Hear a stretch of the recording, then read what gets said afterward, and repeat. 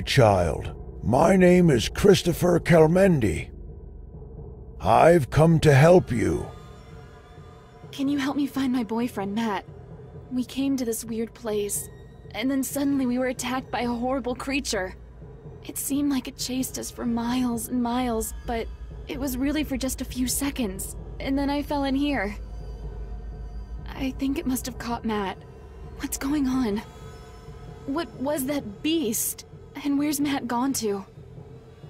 Your fiance is in great danger, but you're in even greater danger right now than he is.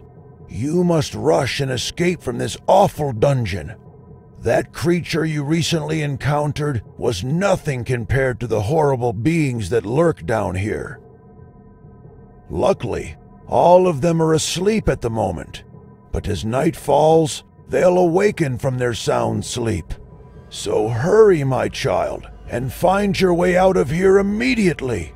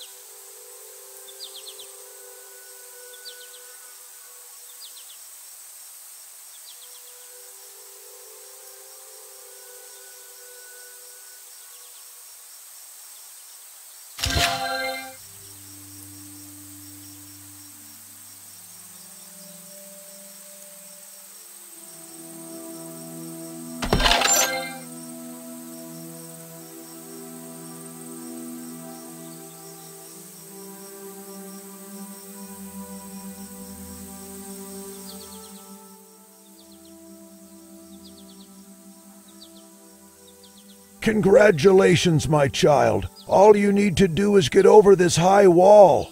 You can see a town behind it, and that's where you'll find your fiance. He's still alive, safe and sound, even. But time is running short. Of course.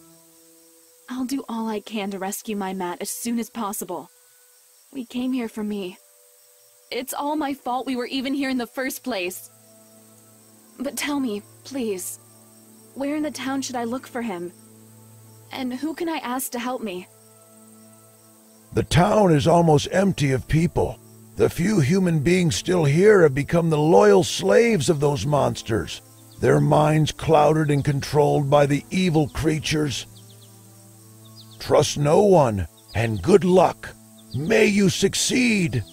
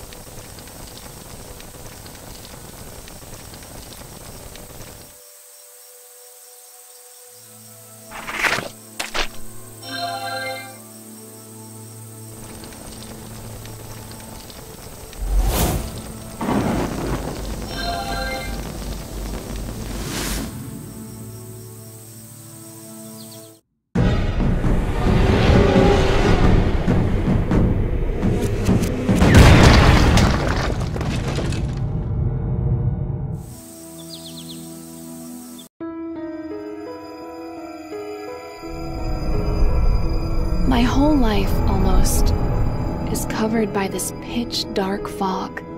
I can barely even remember my real name.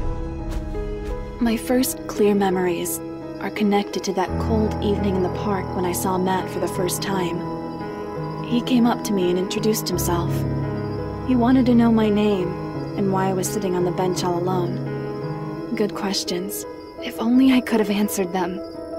Matt wanted to walk me home, but I had no home. My mind had nothing where memories would live. Nothing but that awful, thick fog. For many years, Matt tried his best to help me remember my past. But in vain. When I looked hard into the fog, I still could only see smudged outlines of figures that terrified me. Images that left me no peace during the night or the day. I would often wake up in the middle of the night crying, having this odd, recurring dream about a weird town, where I walked and walked along the streets for a long time, as if I were looking for something. But I never found it. One day, Matt suggested that we take a trip to find that weird town from my dreams. He thought we'd find the answers there to all those questions that had tormented my soul for as long as I could remember, and I eagerly agreed.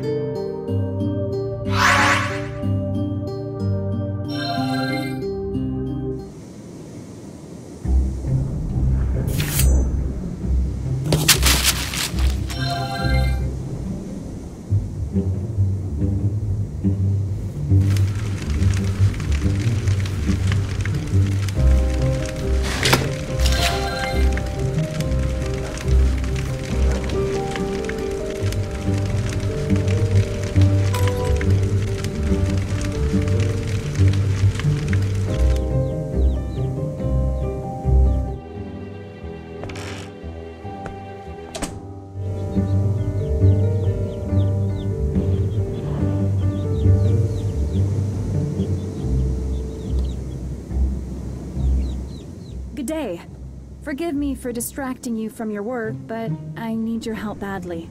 Could you answer a couple of my questions? Is there a sign that says information above the door to my shop? I sell coffins. I don't give information to foreign young women. If you still don't need a coffin, get out of here while you're still in one piece.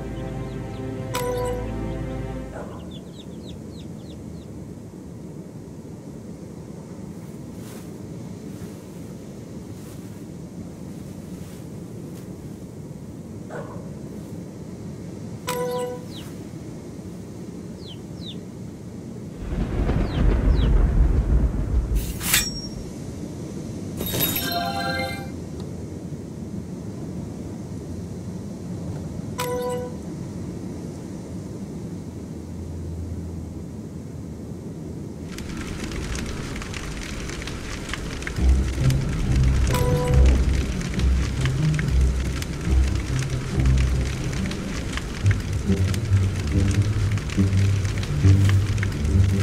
seems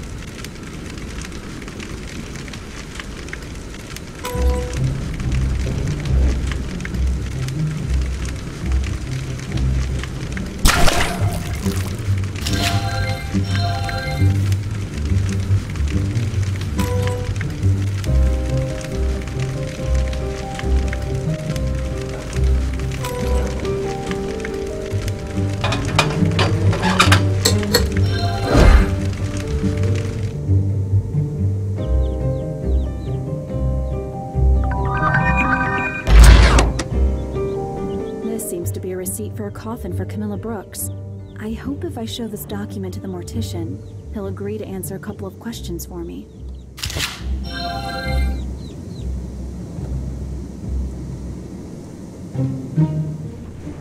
Sorry, but you misunderstood me. I'm Camilla Brooks's niece. I'm here for the coffin for her deceased husband. Well, why didn't you say you were from Camilla the first time? My condolences to you for the loss of your dear uncle. Our Lord seemed to have decided that Mr. Brooks has lived enough on this earth.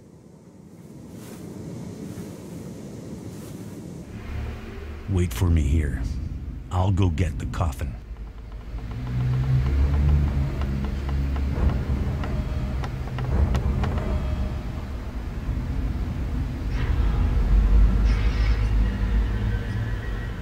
Oh no. This is a photo of Matt. That ugly mortician must know what happened to him.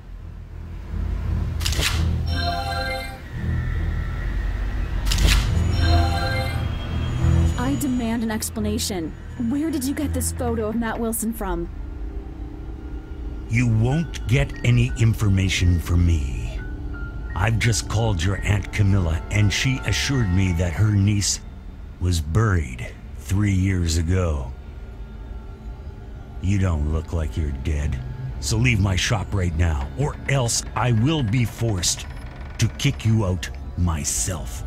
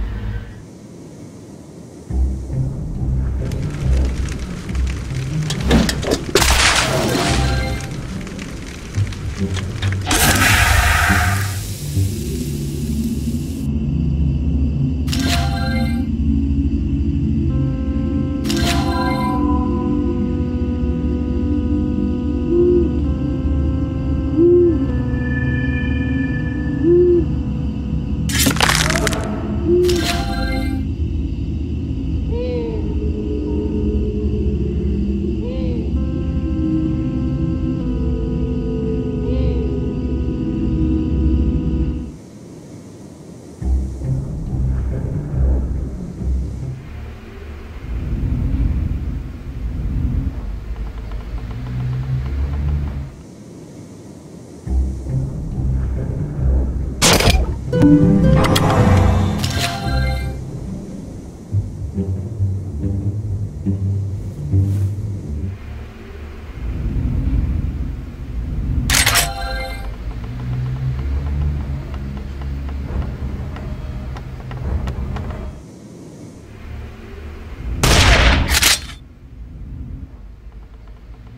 probably be more talkative at gunpoint, I bet.